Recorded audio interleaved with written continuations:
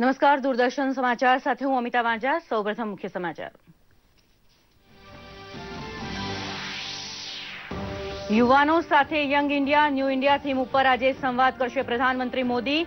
સ્વામી વિવેકાનંદે વિશ્વ ધર્મ સંસદમાં શિકાગો ખાતે અઢારસો ત્રાણુંમાં આપેલા ઐતિહાસિક પ્રવચનનો સંદર્ભ ટાંકી પ્રેરણા ગ્રહણ માટે યુવા પેઢીને આગ્રહ કરાશે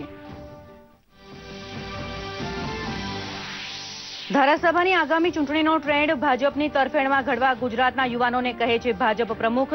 બસો સ્થળે એકઠા થયેલા દોઢ લાખ યુવા સાથે પ્રથમ ડિજિટલ સંવાદનો વિક્રમ નોંધાવે છે અમિતભાઈ અને ગુજરાત.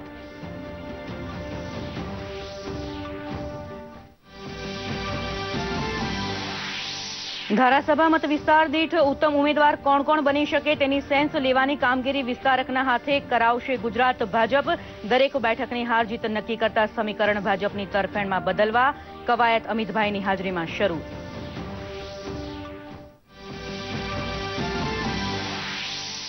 અને સરકારી હોસ્પિટલમાં કાર્યરત તમામ તબીબની કામગીરીને આવશ્યક સેવા તરીકે જાહેર કરે છે ગુજરાત સરકાર. સામૂહિક રીતે રજા ઉપર ઉતરવાના કાર્યક્રમમાં જોડાવા બદલ ડોક્ટર સામે ભરાશે શિક્ષાત્મક પગલાં.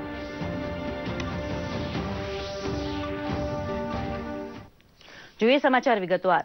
પ્રધાનમંત્રી નરેન્દ્ર મોદીએ આજે યુવા વિદ્યાર્થીઓ સાથે સંવાદ કરવાના હોવાની જાણકારી પોતે ટ્વીટ વડે આપી છે. અઢારસો ત્રાણુંમાં શિકાગો ખાતે સ્વામી વિવેકાનંદે આપેલા ઐતિહાસિક પ્રવચનને કેન્દ્ર સ્થાને રાખી પ્રધાનમંત્રી યંગ ઇન્ડિયા, ન્યૂ ઇન્ડિયા વિશે વાત કરશે. રાષ્ટ્ર નિર્માણમાં યુવા શક્તિનો વિનિયોગ કરવાની દૂરંદેશી સ્વામી વિવેકાનંદે રજૂ કરી હોવાનું પ્રધાનમંત્રીએ જણાવ્યું છે. તેમણે ઉમેર્યું કે સ્વામીજીના આદર્શ પ્રમાણે પરિવર્તનનો મેન્ડેટ લઈ મોદી સરકાર કામ કરી રહી છે. સંરક્ષણ મંત્રાલયનો હવાલો સંભાળ્યા બાદ નિર્મળા સીતારમણે સરહદે આવેલા મહત્વના એરફોર્સ સ્ટેશનની મુલાકાત શરૂ કરી છે.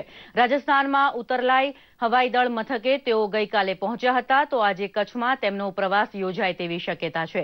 ઉતરલાય હવાઈ દળ મથક ઉપર સંરક્ષણ મંત્રીના આગમન સમયે ગાર્ડ ઓફ ઓનર દ્વારા તેમનું સ્વાગત કરાયું હતું. દક્ષિણ પશ્ચિમ એર કમાન્ડનો હવાલો સંભાળતા વરિષ્ઠ અધિકારીઓની હાજરીમાં હવાઈ દળના વડા, air chief marshal BS Dhanoa દ્વારા સંરક્ષણ મંત્રીને પ્રહાર શક્તિની સજ્જનતા વિશે વાકેફ કરાયા હતા.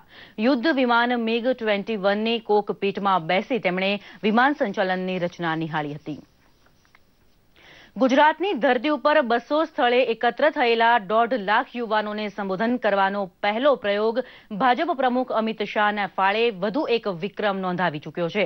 યુવા ટાઉન હોલ કાર્યક્રમમાં ડિજિટલ પ્લેટફોર્મ વડે સંવાદ યોજવાના પ્રયોગ કોઈ રાજકીય પક્ષના વડાએ કર્યો હોય તેવી પહેલી સિદ્ધિ પણ અમિતભાઈ અને ગુજરાતના નામે નોંધાઈ છે. ધારાસભા ચૂંટણીનું રણશીંગુ ફૂંકવા માટેનો પહેલો કાર્યક્રમ જ મજબૂત રીતે યોજીને ભાજપ પ્રમુખે પ્રચારની ગરમી વેઠવી કોંગ્રેસ માટે કેટલી કઠિન હશે તેનો અણસાર આપી દીધો છે. ગુજરાતભરના ટાઉન હોલમાં એકત્ર થયેલા યુવાનોને ભાજપ પ્રમુખ અમિત શાહ તરફથી ધારાસભાની આગામી ચૂંટણીમાં સક્રિય બનવા અપીલ કરાઈ હતી. તેમણે કહ્યું કે દરેક ચૂંટણીનો ટ્રેડ ઘડવાનું કામ યુવાનો દ્વારા જ થતું હોય છે. ગુજરાતમાં ભાજપને ઓગણીસો પંચાણુંમાં પહેલી વખત સત્તા મળી ત્યાર પછી કોંગ્રેસનો ગજ શા માટે ક્યારે વાગ્યો નથી? તેના કારણ માટે આત્મખોજ કરવાનો બુલંદ પડકાર તેમણે રાહુલ ગાંધીને આપ્યો હતો. ચૂંટણી પ્રચારમાં ટેકનોલોજીનો અત્યાધુનિક ઉપયોગ કરી હરીફને પાછળ રાખી દેવાની વ્યૂહરચનામાં ભાજપનો જોટો જડે તેમ નથી. તે વાત વધુ એક વખત અમિતભાઈએ સાબિત કરી આપી છે. એવું ગુજરાત કોંગ્રેસે બનાવ્યું. આ ગુજરાતની અંદર, તમારા ઉંમરના છોકરાઓની અંદર, તમારા ઉંમરના યુવાઓની અંદર કર્ફ્યુ શબ્દ ચોપડીમાંથી વાંચવા માટેનો શબ્દ થઈ ગયો છે. એની અનુભૂતિ બહુ ઓછા લોકોને થઈ હશે. હમણાં કોંગ્રેસના શાહજાદા અહીંયા આવ્યા હતા. અને ગુજરાતના વિકાસનો હિસાબ માંગતા હતા કે ગુજરાત મેં ક્યાં વિકાસ હુઆ હૈ?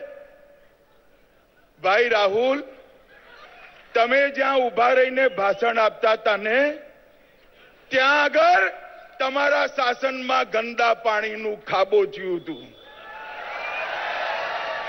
આજે ત્યાં આગળ સમગ્ર વિશ્વ જોવા આવે એવા રિવરફ્રન્ટની રચના આ ભારતીય જનતા પાર્ટીના શાસનની અંદર છે.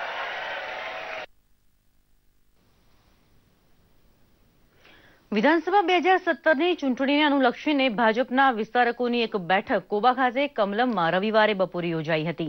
ભાજપના રાષ્ટ્રીય અધ્યક્ષ અમિત શાહની ઉપસ્થિતિમાં મિશન એકસો એકાવનને પાર પાડવા કેવી રણનીતિ ઉપર કામ કરવાનું છે, તે અંગે માર્ગદર્શન અપાયું હતું. સાથોસાથ, કેન્દ્ર અને રાજ્ય સરકારની કલ્યાણકારી યોજનાઓને ઘર ઘર, હર ઘર સુધી પહોંચાડી પ્રત્યેક પરિવારને પાર્ટી સુધી જોડવાની ચર્ચા વિચારણા કરવામાં આવી હતી. ધારાસભાની બેઠક દીઠ આદર્શ ઉમેદવાર નક્કી કરવાની કવાયત અમિતભાઈના માર્ગદર્શન હેઠળ શરૂ થઈ છે.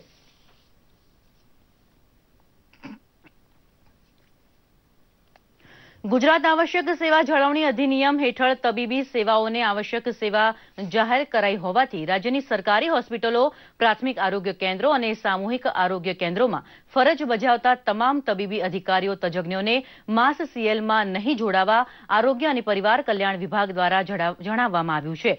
ઇન સર્વિસ તબીબોએ તારીખ અગિયારથી તેર સપ્ટેમ્બરની માસ સીએલનું એલાન આપ્યું છે. માસ સીએલ ઉપર જનારા તબીબો સામે ગુજરાત આવશ્યક સેવા જાળવણી અધિનિયમ અધિનિયમ ઓગણીસો બોતેરના ભંગ બદલ જરૂરી શિક્ષાત્મક કાર્યવાહી હાથ ધરવામાં આવશે એમ પણ આરોગ્ય અને પરિવાર કલ્યાણ વિભાગ દ્વારા જણાવવામાં આવ્યું છે.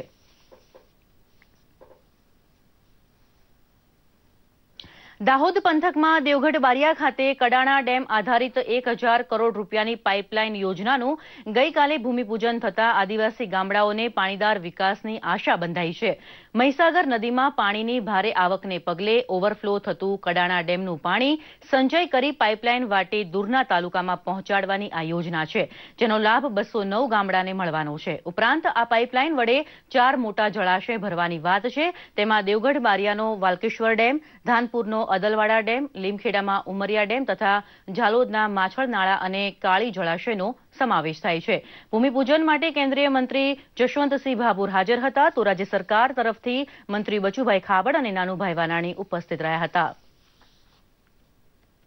એ તમામ બાબતો ભૂતકાળ બની જશે અને દાહોદના ખેડૂતો પોતાના જ ખેતરની અંદર દાહોદમાં સારી રીતે રોજગારી પ્રાપ્ત કરી અને સારી રીતે ખેતી કરી શકશે? દાહોદ જિલ્લાનો સ્થળાંતરનો પ્રશ્ન અને નિરક્ષરતાનો પ્રશ્ન આ બંને પ્રશ્નોને હલ કરવા માટે હાફેશ્વર આઠસો નેવું કરોડની પાણી પીવા માટેની યોજના અને એક હજાર ચોપન કરોડ કરના ડેમમાંથી બધા ડેમો, તળાવો, નાળા ચેક ડેમો ભરીને દાહોદ જિલ્લાની ધરતી સુજલામ સુફલામ બને.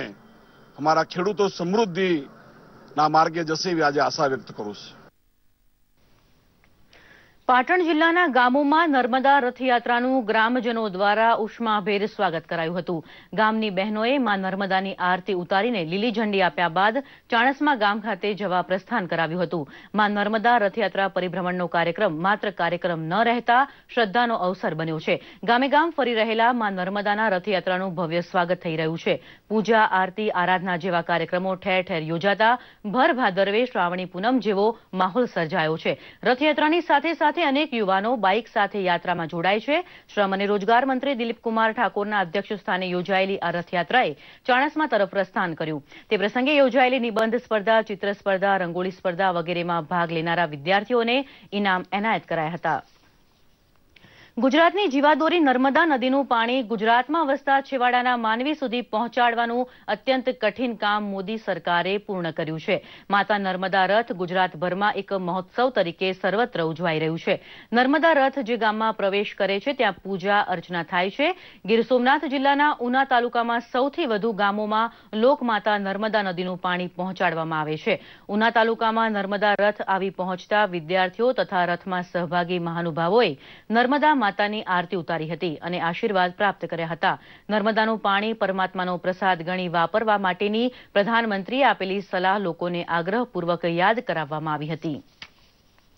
ભાદરવાની ગરમી અને બફારાથી ત્રસ્ત થયેલા ગુજરાતમાં ગરમીનો પારો દિન પ્રતિદિન વધતો ચાલ્યો છે.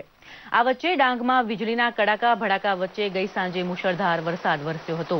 દોઢથી બે જ કલાકમાં પડેલા ભારે વરસાદે ડાંગના જંગલની લીલોતરીને નવપલવિત કરી દીધી હતી. જિલ્લાના આહવા, બોરખેત, ઘોઘલી, કોટલા ઉપરાંત સાપુતારાની તળેટીમાં ભારે ઠંડક પ્રસરી ગઈ હતી. તો ખેડૂતોને પણ આ પાછોતરા ઝાપટાથી ખેતરની મોલાતને નવજીવન મળ્યાની અનુભૂતિ થઈ હતી. મહેસાણા ખાતે ઉત્તર ગુજરાત વિકલાંગ કલ્યાણ સંઘ તથા સ્પોર્ટ્સ ઓથોરિટી ઓફ ગુજરાતના સંયુક્ત ઉપક્રમે દિવ્યાંગો માટે સ્પેશિયલ ખેલ મહાકુંભ બે હજાર સત્તરનું આયોજન કરાયું હતું. સમગ્ર મહેસાણા જિલ્લામાંથી જુદી જુદી રમતો માટે ચારસો બે જેટલા દિવ્યાંગોએ ભાગ લઈ એથ્લેટિક રમતોમાં પોતાનું કૌવત દાખવ્યું હતું. ખાસ કરીને ટ્રાયસિકલ દોડ તથા અન્ય રમતોમાં દિવ્યાંગોએ ભાગ લીધો હતો. સમગ્ર કાર્યક્રમનું સંચાલન વર્ષ બે હજાર ત્રણમાં શ્રેષ્ઠ દિવ્યાંગના પુરસ્કાર વિજેતા સુરેખાબેન પટેલ દ્વારા કરવામાં આવ્યું હતું. રાજ્ય સરકારના રમતગમત, યુવા અને સાંસ્કૃતિક પ્રવૃત્તિ વિભાગ ગાંધીનગરના ઉપક્રમે રાજ્યભરના તમામ જિલ્લાઓમાં ખેલ મહાકુંભનું આયોજન કરાયું છે. ત્યારે નવસારી ખાતે જિલ્લા કક્ષાનો દિવ્યાંગોનો સ્પેશિયલ ખેલ મહાકુંભ યોજવામાં આવ્યો હતો. જિલ્લા કક્ષાની આ સ્પર્ધાની એથ્લેટિક રમત, દોડ, લાંબી કૂદ, ઊંચી કૂદ, ગોળા ફેંક અને સાયકલિંગમાં ચારસો જેટલા દિવ્યાંગ બાળકોએ ભાગ લઈ પોતાનું કૌવત દાખ્યું હતું. અમદાવાદના સાબરમતી રેલવે સ્ટેશન પરિસરમાં બુલેટ ટ્રેન પ્રોજેક્ટનું ભૂમિપૂજન થનાર હોવાથી ત્યાં તૈયારીઓ તડામાર શરૂ થઈ ગઈ છે. નરેન્દ્ર મોદી અને જાપાનના પ્રધાનમંત્રી શિન્જો આબે ચૌદ સપ્ટેમ્બરે બુલેટ ટ્રેન પરિયોજના જે કે અમદાવાદથી મુંબઈ વચ્ચે છે, એનું શિલાન્યાસ કરવાના છે. તમને બતાવી દઈએ કે અત્યારે અમે લોકો જ્યારે અમદાવાદથી મુંબઈ જઈએ છીએ, તો આઠથી નવ કલાક લાગે છે. પણ આ બુલેટ ટ્રેન પરિયોજના જ્યારે શરૂઆત આની થઈ જશે બે હજાર તો માત્ર દોઢ કલાકમાં તમે અમદાવાદથી મુંબઈ સુધી પહોંચી શકશો. આ અમદાવાદથી મુંબઈનું જે આખું સફર છે, પાંચસો આઠ કિલોમીટરનું આ ટ્રેક છે અને ત્રણસો વીસ કિલોમીટરની રફતારથી આ બુલેટ ટ્રેન ચાલશે. તો એટલા માટે દોઢ કલાકમાં તમે अहमदाबाद मुंबई સુધી પહોંચી શકશો यहाँ से बॉम्बे जाना है तो बॉम्बे जाने के लिए सात आठ घंटे लगते हैं तो बुलेट ट्रेन आने आने की वजह से डेढ़ दो घंटे में पहुँच पहुँच सकते हैं और दूसरी बात यह है कि साबरमती में आएगी तो सबसे ज़्यादा फायदा यहाँ के लोकल लोगों को ज़्यादा होगा बुलेट ट्रेन आने से पब्लिक को ज़्यादा फायदा होने वाला है उनका टाइम बचेगा और रिक्शा वाले को भी फायदा होएगा टैक्सी वाले को भी फायदा होएगा जो जल्दी आएंगे तो उनका धंधा बिजनेस बढ़ेगा हर चीज़ में रेलवे को भी फायदा है देश की तरक्की होगी। क्या? देश का नाम ऊँचा होगा। और ये जो सरकार जो भाजपा सरकार है नरेंद्र मोदी जो काम कर रहे हैं उनका नाम अच्छा होगा कि उन्होंने इतनी इतना सारा आपको डेवलपमेंट करके दिया। बुलेट ट्रेन तो से ये फ़ायदा होगा कि आने वाले मुसाफरों को वो समय बचेगा उनका और ये समय बचने से उनको समय के अनुसार ज़्यादा जल्दी से पहुँच सकेंगे। आपका ट्रैक ऊपर બાર રેલવે સ્ટેશન્સ નિર્માણ કરવામાં આવશે અને સાથે સાથ, આ પ્રોજેક્ટની જો વાત કરીએ, તો અઠ્ઠાણું હજાર કરોડ રૂપિયાનું આ પ્રોજેક્ટ છે, જેમાંથી એસી ટકા જે પ્રોજેક્ટ છે, એ જાપાનની તરફથી ફાઇનાન્સ થવામાં આવશે. પણ આની જો ભરપાઈ કરવાની વાત કરીએ, તો પંદર વર્ષ પછી, અને એટલે કે બે હજાર ત્રેવીસમાં જ્યારે આ રેલવે લાઇન કે બુલેટ ટ્રેન જ્યારે ઓપરેશનલાઇઝ થશે, એની પંદર વર્ષ પછી ભારતને આનું રિફાઇનાન્સ કરવું પડશે, અને એ પણ માત્ર શૂન્ય દશમલવ એક ટકા ઉપર. આ બુલેટ ટ્રેન જે છે, અમદાવાદથી મુંબઈ વચ્ચે, એ બુનિયાદી ઢાંચે એટલે કે ઇન્ફ્રાસ્ટ્રક્ચરને તો બઢાવો આપશે જ આપશે, પણ જે આખી સિટીઝ છે એને કનેક્ટ કરવામાં વ્યાપારિક સ્થિતિના નજરિયાથી પણ અને બીજી વાત સાંસ્કૃતિક નજરિયાની સ્થિતિ ઉપરથી આ બધી સિટીને કનેક્ટ કરશે અને જે ઇન્ફ્રાસ્ટ્રક્ચર છે એને ખૂબ જ બઢાવો આપશે. કેમેરા પર્સન અંકુર સાથે અરુણ શર્મા, દૂરદર્શન ન્યૂઝ, સાબરમતી, અમદાવાદ. સપ્તાહથી શરૂ થનારી પાંચ વન ડે મેચની ક્રિકેટ શ્રેણીના પ્રથમ ત્રણ મુકાબલા માટે ભારતીય ટીમની જાહેરાત થઈ છે. આ ટીમમાં ફાસ્ટ બોલર ઉમેશ યાદવ તથા મોહમ્મદ શામીનો પણ સમાવેશ કરવામાં આવ્યો છે. શ્રીલંકામાં વિજય મેળવેલી ટીમને જ ઓસ્ટ્રેલિયા સામે શરૂઆતની વન ડે મેચમાં પસંદ કરાઈ છે. આર અશ્વિન અને રવિન્દ્ર જાડેજાને આ સિરીઝમાં સ્થાન મળ્યું નથી. સાથે જ યુવરાજ સિંહનો પણ ટીમમાં સમાવેશ કરવામાં આવ્યો નથી. સ્ટીવ સ્મિથની કપ્તાની હેઠળ ઓસ્ટ્રેલિયન ટીમ સત્યાવીસ દિવસ માટે ભારતના પ્રવાસે આવશે. પ્રથમ મેચ સત્તર સપ્ટેમ્બરે રમાશે. આ દરમિયાન પાંચ વન ડે તથા ત્રણ ટી ટ્વેન્ટી મેચ રમાશે. અત્યારે બસ આટલું જ. વધુ સમાચાર માટે જોતા રહો દૂરદર્શન સમાચાર. નમસ્કાર.